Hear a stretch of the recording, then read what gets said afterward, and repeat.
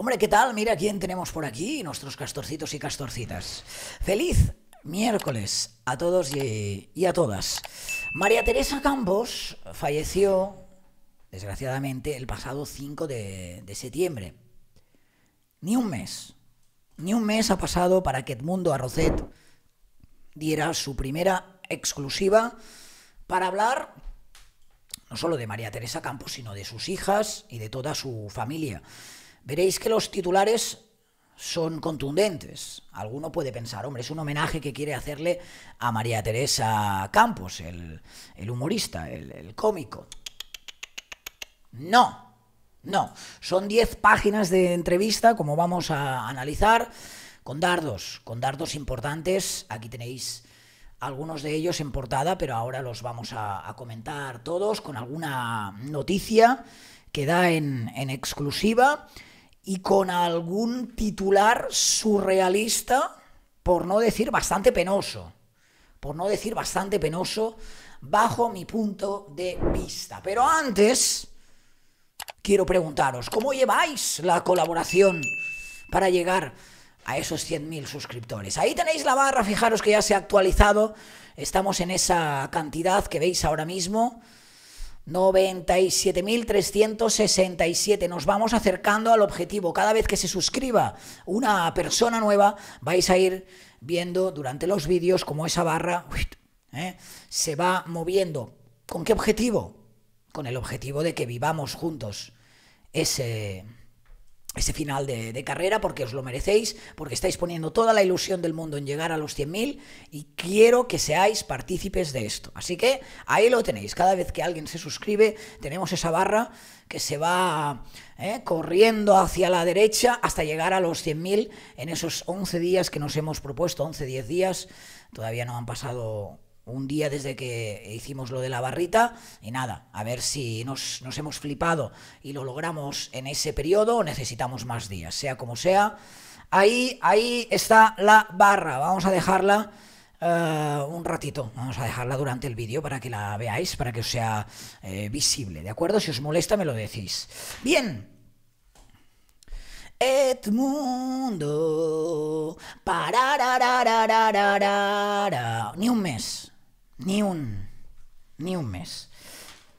Ha pasado para que ya Edmundo, que hace cuatro años que no está con María Teresa Campos, tuvieron una relación, ya lo sabéis, de seis años, y con esa eh, ruptura que se hizo mediática por el famoso WhatsApp o no WhatsApp, del que también hace referencia en esta entrevista para 10 minutos, sin que quede muy claro realmente eh, es el, final, ¿no? O, cómo terminó la relación. Lo vais a ver.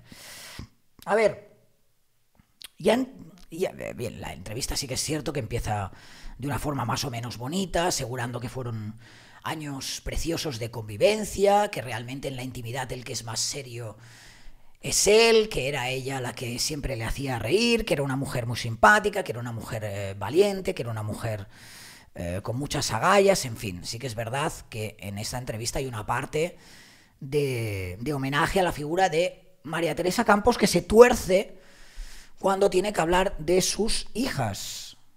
De hecho, habla, hay un momento en el que habla de, de que él pagaba los viajes, que, que, hacían, ¿no? porque muchas veces se le ha acusado a Edmundo, a, a Rocet, de querer acercarse a la figura de María Teresa Campos por su situación privilegiada. Hay un momento en el que habla o le preguntan por, por esos viajes que, según él, pagaba Edmundo a Rocet y le preguntan si sus hijas eran conscientes, también dijo que el disco lo había pagado él, si sus hijas, las hijas de María Teresa Campos, eran conscientes de que él había pagado esos viajes. Y la respuesta no puede ser más contundente y con más mala leche, por cierto. No ha pasado ni un mes ¿eh? de la muerte de María Teresa Campos, sigo insistiendo. Pero ¿para qué? Decírselo. Yo no estaba casado con las hijas, yo estaba con ella. Y viene el dardito. En los seis años que estuve en casa de Teresa, Terelu solo fue diez o 11 veces. Es algo que ya se había comentado, pero que reitera en esta entrevista. Y Carmen, ni eso. Los únicos que se salvan de esa quema, eso no lo dice él, lo digo yo, dice los únicos que iban mucho y tengo un inmenso cariño es Alejandrita, Alejandra Rubio, la hija de Terelu, y José María, el hijo de, de, Carmen, de Carmen Borrego. Son los únicos, dice Alejandrita y José estaban, José María estaban muy pendientes de su abuela. Pero lo que dice de las hijas es bastante contundente. En seis años, según Edmundo Arrocet, esto es su relato, ¿eh? aquí ya os pregunto si os lo creéis o no os lo creéis, pero según Edmundo Arrocet, luego volverá al ataque, en seis años Teresa, perdón, Terelu Campos, según él, solo fue a visitar a su madre diez o once veces en esa casa, en esa mansión, y Carmen ni eso. No sabemos el ni eso cuántas, cuántas veces significa. Entonces aquí deja, deja ir lo que es la, bomba de, la entrevista. De hecho, la, revista 10 minutos destaca este titular, este titular. Teresa se quiso casar para dejarme una pensión, una pensión porque le preguntan, ¿nunca pensasteis en casaros? Y después de una pausa, Edmundo dice, un día estábamos tumbados en la cama viendo un programa que hacía Carmen en Andalucía y de pronto Teresa me dice, esto en la cama, ¿eh? Estaba pensando, somos mayores y si yo me muero, se pierde la pensión. Si nos casamos, la pensión se queda para ti. Una buena pensión de viudedad, porque yo estoy trabajando desde los 15 años y si no nos casamos, la pensión se va a perder. Esto es lo que le comentó María Teresa Campos en la cama a Edmundo Arrocet. Y le pregunta a la periodista, ¿y qué le dijiste? Teresita, porque le sigue llamando Teresita en esta entrevista, que se pierda. Yo no tengo necesidad de dinero. Si están diciendo ahora que sin estar casado soy un chuleta, imagínate. Doble chuleta. Hay durante esta entrevista cierta necesidad constante de, no sé si blanquear, eh, porque no sé si hay algo a blanquear, ¿no? Pero de defender su honor y la imagen ¿no? del humorista. Se defiende en varias ocasiones de todo lo que se ha dicho de, él. En fin, el humorista asegura que María Teresa Campos le dijo de casarse para que él tuviera esa pensión y que su respuesta fue que se pierda, que ella, que él no estaba con ella por dinero. Cuando le preguntan qué falló en esa relación, responde que a Teresa le iban intoxicando con falacias y desarrolló una desconfianza que no se correspondía con la, con la realidad, que María Teresa Campos, según Edmundo Arrocet, se volvió celosa por historias de mujeres que aparecían. Y aquí viene para mí la parte más surrealista de la entrevista. No sé qué vais a pensar vosotros, yo me he quedado bastante helado. Dice, pero alguna amiga tuya dio pie a las dudas, alguna amiga tuya ha salido alguna vez, eh, ha explicado que ha estado contigo, en fin, hay testimonios que no invitaban precisamente a creerte. Esto es lo que le viene a insinuar la periodista. Y atención a la respuesta del de señor Edmundo Arrocet. Dice, yo, para que se ganen un dinero, les decía, id y aprovechadlo. ¿Cómo, cómo, cómo, cómo? Es decir, que Edmundo Arrocet les decía a las supuestas amantes que no lo eran, da igual, si os podéis ganar un dinerito, vais a la prensa y contáis esta historia. Id y aprovechadlo. Esto es lo que está diciendo este señor en esta entrevista y va más allá. Dice, también con aquel supuesto hijo mío, Alexis. Yo sabía que no era hijo mío, pero le decía que se ganase un dinero. Alexis se sometió a las pruebas de ADN y se descubrió que no era hijo ¿eh? del humorista. ¿Cómo, cómo, cómo? Que a ti te viene una persona y te dice, eres mi padre. Y a pesar de que tú sabes que no lo es, le dices, sí, pero bueno, da igual, cuenta la historia que te vas a ganar algún dinerito. No sé si preferiría que realmente este señor hubiera sido infiel y nos está colando aquí la bonoloto, o pensar que esto es cierto y que este señor es un santo y le va diciendo a la gente que a pesar de no estar con ella, de no tener ninguna relación, que lo cuente en la prensa y que se gane un dinerito, claro que sí.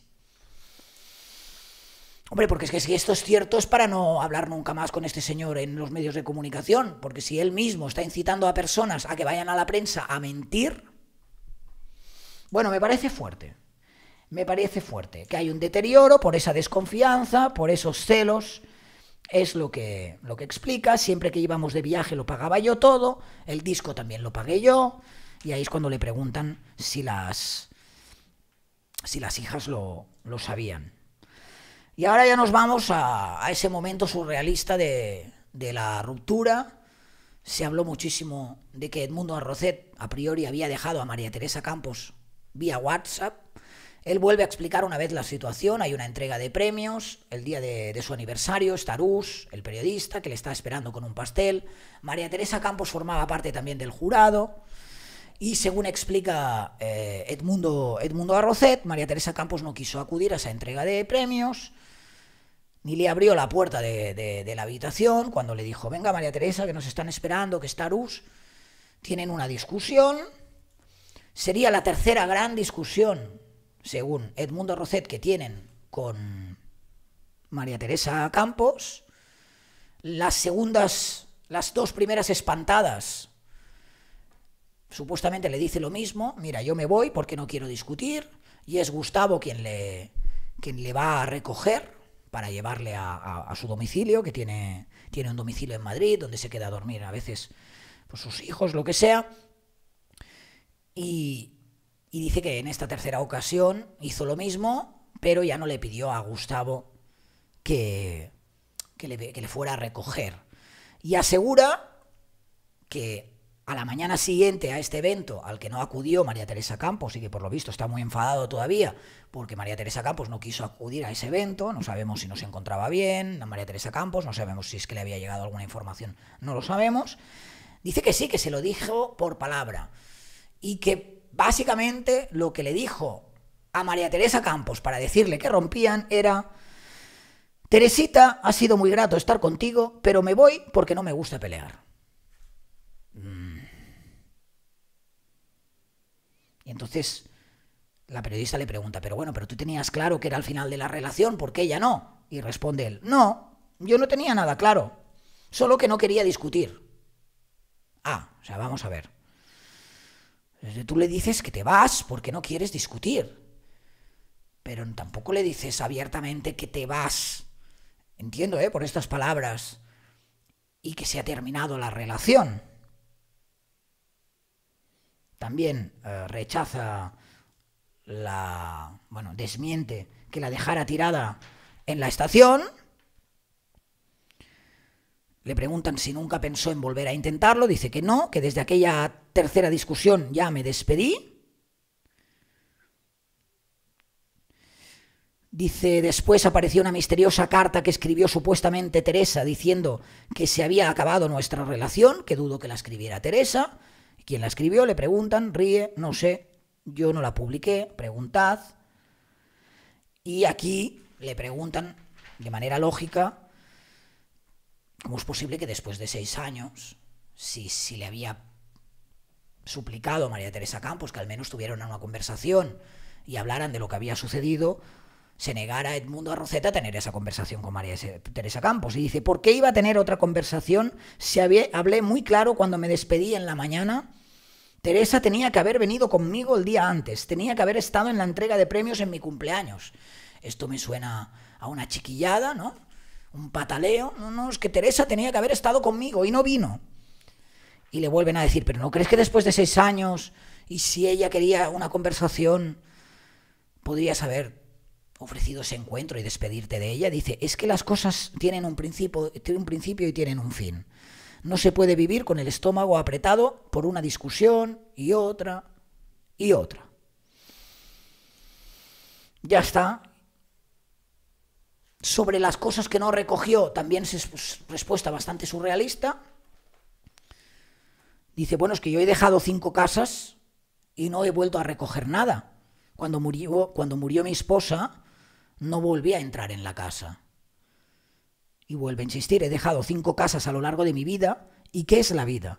no me voy a llevar nada. O sea, este señor va llenando casas, pero luego cuando se va no va a recoger nada y lo ve pues lo más normal del mundo, ahí que se queden. Y digo yo, bueno, ya, pero es que en esa casa vive otra persona, ¿no? A lo mejor a esa persona no le interesa tener las cosas, cosas tuyas cuando has sido tú el que te has sido. Por educación al menos, ir a, recoger tus cosas, luego haz con tus cosas lo que quieras. Si quieres regalarás porque dices que no pertenecen a nadie. Pero en fin, también me ha sorprendido esta respuesta, ¿no? Yo, te, yo he dejado cinco casas y yo, todas las casas que dejo, pues yo lo dejo todo ahí. Bueno, hace referencia, así le ha llamado la atención, que María Teresa Campos le preguntan no dejara testamento, dice que no, porque ella decía que era mal, malfario hacer testamentos, es decir, confirma la versión oficial que, que, que sabíamos, y, y, sigue en la línea de que hay mucha gente que se ha aprovechado de María Teresa Campos. Dice, por ejemplo, y aquí vuelve a las hijas, su pena es que dedicó vida y esfuerzo en hacer una casa para ella y para sus hijas, aquella mítica casa de la que os hablamos, que luego tuvo que malvender. Y esa casa estaba siempre vacía, mientras su hija estaba pagando alquiler en otras partes. Eso le dolía mucho a Teresita. Hizo una gran inversión y puso su ilusión para tener una casa para sus hijas y le dolía verla vacía. Un misterio muy grande. Y le preguntan, pero además de la casa, Teresa ganó mucho dinero, ¿dónde está? Y él responde, otro misterio. Yo le he tenido que dejar dinero. Ahí están las pruebas. Necesitaba ese dinero y yo se lo dejé y punto. Es decir, asegura que María Teresa Campos era infeliz en esa casa porque pensaba en esa casa como un domicilio familiar donde pudieran estar sus hijas y mientras su hija estaba de alquiler en otro sitio y luego insiste en que le tuvo que dejar dinero a, María Teresa Campos a pesar, a, a pesar, de todo el dinero que había ganado en la televisión y que no sabe dónde está ese dinero que, que había ganado. Claro, insinuaciones que son, que son bien, algo algo feas, ¿no? Gustavo también recibe, ¿eh? Dice, después de hablar mal de mí, tengo un audio de Gustavo, el señor que está en Gran Hermano VIP, el chofer, la mano derecha de María Teresa Campos, diciendo, lo siento Edmundo, he tenido que decir cosas que no son verdad. Y él dice que le perdona, porque ya sabe cómo va este esto de la tele, bueno, en la línea de lo otro, ¿no? Bueno, no hemos estado juntos, supuestamente, pero si quieres, cáscalo a la prensa y gánate un dinerito. Pues a lo Gustavo lo mismo. Ah, bueno, si has tenido que hablar mal de, mal de mí, pero es para la prensa y has ganado algo, pues bueno, en fin. Que se enteró del fallecimiento de mm, María Teresa Campos a través de su representante, que no se lo creía, que luego le escribió su hijo Maximiliano y que tampoco, porque él insiste en que cuando lo dejaron María Teresa Campos tenía una salud de hierro, una persona luchadora, una persona fuerte y que le ha sorprendido que le ha sorprendido mucho, que sigue sin poder verbalizar la palabra muerte porque tiene como una especie de, trauma, que no sé, que no le pasó por la cabeza mmm, llamar a, a sus hijas cuando falleció María Teresa Campos, a Terelu y a Carmen Borrego. Dice, no, se me encogió el estómago, pero no lo pensé. Llamé a mis hijos para que la, les escribiesen una nota a Terelu y Carmen. Ellos tienen eh, buena, buena relación y le preguntan que, ahora que está en Madrid, eh, si se encontrara con Terelu o con Carmen, ¿qué les dirías? Dice, si me encontrara con Terelu o Carmen, les diría hola y punto. Yo no tengo nada que temer ni explicar. Solo he hecho cosas positivas. A los únicos a los que me gustaría ver, y vuelve a insistir, son Alejandrita, ¿eh? le gustan los diminutivos a este señor, Teresita, Alejandrita, Alejandrita y eh, José, José María. Y le preguntan también si Teresa tenía muchos amigos y dice, ahora son todos amigos de Teresa de la noche a la mañana. Gente que en seis años nunca vi y ahora se arrogan esa supuesta amistad. Y básicamente así es como, como termina lo más interesante de esta entrevista rajada, ya lo ven, tiene para todos, para, para la propia Teresa Campos, que tam, tampoco está para defenderse ¿no? de algunas cosas, asegurando que él pagaba los viajes, que él pagaba las facturas. Hay un momento también en que dice que despidió al, a la persona que estaba como de guardia de noche porque él ya, ya hacía esa, esa función. A ver si lo encuentro por aquí. Por aquí.